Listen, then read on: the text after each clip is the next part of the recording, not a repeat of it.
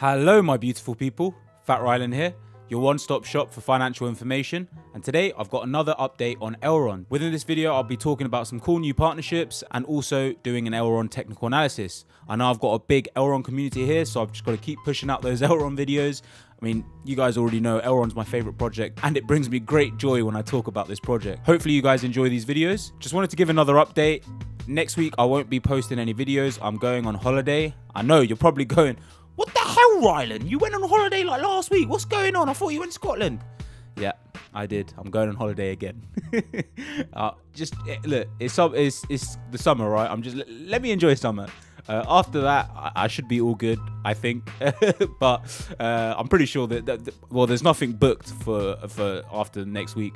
But next week, no video. But then after that, should be back to normal. I do apologize. Just wanted to give a little heads up. But yeah, without further ado, let's get into the video. The first thing I wanted to share, which I think is really quite cool, a new launchpad on Elrond Chain Boost to power gamified IDO and NFT offerings. We are excited to announce that the Chain Boost launchpad platform will integrate with the Elrond network and enable projects and creators to launch their products on our mainnet. Chain Boost is powered by Chain Guardians. If you guys aren't aware of Chain Guardians, it's another game with NFTs. It's actually quite fun. It's like uh, uh, kind of similar to Axie Infinity. Uh, pretty pretty cool. If you haven't checked it out, do check it out. Uh, I, I, enjoyed it. Chain Boost is powered by Chain Guardians, our close partner that is building a powerful NFT ecosystem where creativity fuses with multi-chain DeFi innovation. Their launchpad creates an environment where entrepreneurs and content creators can join forces with an engaged audience to make innovative ideas into reality. And I've mentioned this in my previous video, uh, videos where I've talked about partnerships related to NFTs. Elrond is a very viable option whenever NFTs are related, right? Because NFTs are super cheap to mint, super quick to transfer, whereas on Ethereum, it's extremely expensive. Elrond is both cheap and very fast when it comes down to NFTs. So more and more NFT projects are looking at Elrond and seeing the, the benefits it just it just makes so much sense to build on the Elrond network. Through gamification and chain analysis mechanism, Chain Boost empowers the most active supporters to have a say in the platform's governance using the Chain Guardian governance token and get better access to new Launchpad events. Through our collaboration, the Chainboost platform will integrate the Elrond blockchain to enable new products and their tokens to be deployed directly on our mainnet. It will also be possible to participate in Launchpad events using ESDT. Elrond standard digital tokens. And something that I think is really cool is Emma Liu, the Chain Guardians co-founder and CEO states that ever since we joined forces with Elrond a few months ago, we've witnessed an incredibly rapid expansion of their ecosystem. There's tremendous growth potential that we look forward to catalyze with the Chain Boost launch platform and deeper integrations with the overall Chain Guardians ecosystem. More and more projects are starting to realize that Elrond is pre one of the most premium ecosystems there is. By being part of the Elrond ecosystem, not only do the projects benefit because you know it's cheap, the transaction fees are so low, the transaction speeds are so quick, but also the people who then use those projects, those decentralized applications, see huge benefits as well because they don't have to spend ridiculous amounts of money to mint or transfer NFTs per se, or have to wait long periods of time because everything is done near instantaneously and at ridiculously cheap costs. Now, the next partnership that I wanted to highlight, this is a huge partnership in my opinion. I am a bit late to it. The holiday last week obviously interfered with this, but this is a huge partnership. If you've already seen it, you know, you got the timestamps down below. Just skip through to the technical analysis, but build all the world's data into powerful decentralized applications. The Chainlink oracles are now live on the Elrond DevNet. We are excited to announce that Chainlink oracles have been deployed to the Elrond DevNet. Developers can now explore supercharging their decentralized applications with reliable off-chain data from one of the most powerful decentralized data providers. Obviously, you guys have probably heard about Chainlink. Chainlink is a huge project. If you guys don't know the benefits of oracles, I can make a full video on it. But a solid oracle is vital within any ecosystem. It really helps deter any exploits from occurring having reliable off-chain data at near instantaneous speeds is very, very important. And Chainlink can offer that. Chainlink have been very good when it comes down to reliable off-chain data, right? Especially when you look at Elrond, which is trying to be this premium ecosystem. The decentralized applications particularly for DeFi, will strongly require reliable off-chain data. The blockchain use case with the most significant importance in the current evolution of decentralized applications is decentralized finance. Real-time price feeds are a mandatory component for keeping on-chain financial applications in sync with the global market movements. So obviously I just mentioned that it is crucial for DeFi. As metrics change, as values change, they need real-time price feeds to be matching. They need to be near precise, instantaneous, right?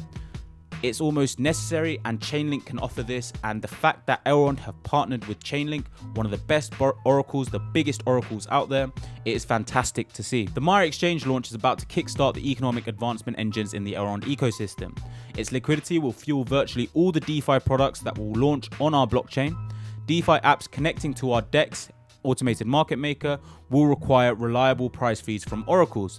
Of course, an exchange will need very reliable price feeds. You know, there can't be fluctuations causing flash loan attacks, exploits from occurring. This can't be happening, right? This is what brings an ecosystem down. By having an oracle such as Chainlink, a lot of DeFi projects or ecosystems sometimes try and create their own oracle, fail miserably after a flash loan attack occurs, and then they go to a reliable oracle such as Chainlink. Nice to see that Elrond have done this right from the offset. They're testing it out on their DevNet. is very, very good to see, very reassuring to say the least. Now for the Elrond technical analysis. Now with Bitcoin showing a little bit of red, obviously eh, things can't just constantly go up, right? Bitcoin showing a little bit of weakness. We have broken down from this rising wedge that we uh, broke out from, right? We broke out from this rising wedge. The RSI, I did mention in my previous video, was hitting that overbought region. So some sort of correction or sideways movement was required for more healthy growth. And we can see that we found resistance exactly within the 159 to $165 range. If I really zoom in, you'll be able to see that we wicked into this region on two occasions and got rejected, right? We then try to establish support on this red line. This red line I have mentioned numerous times. This red line I have mentioned numerous times as it was a very strong support on numerous occasions on our way up back in January. Coming up to this red line again, we started finding substantial resistance, right? and you can see how as resistance we tried we were using between $130 to $134 as a floor to try and bounce and we managed to propel ourselves using this line uh, above this red line, trying to establish support as you can see. And then with Bitcoin showing weakness, we have broken down. But as you can see, this support here from 130 to $134 is establishing self almost like a floor, right? We can see that we have after passing this region, we have wicked into this zone numerous times, and every time we're getting solid buying pressure, bringing us above, right? If we do break down from here, I am looking towards $118 to $123. I have buy orders at around $120. If it if it goes down that low, great. I've got more Elrond. Uh, I've got I can't complain with that uh, with more Elrond. But personally, it's right now unless Bitcoin starts showing a lot of weakness, starts crashing.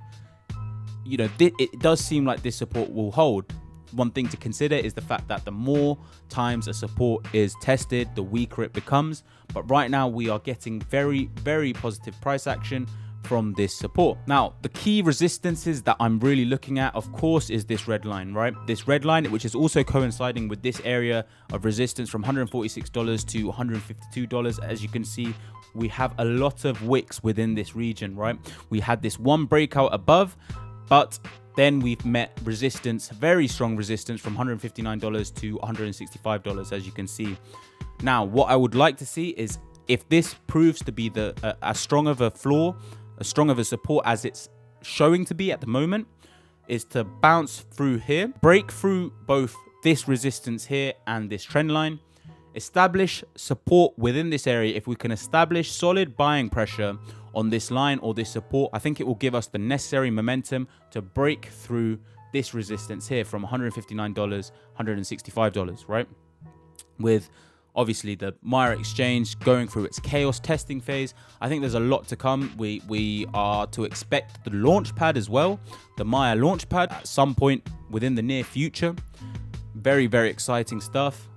Once these start rolling out, I think the price will really start to get going. Obviously, I'm not a financial advisor. You know the you know the line. I'm a 24 year old sitting behind his computers looking at a bunch of graphs.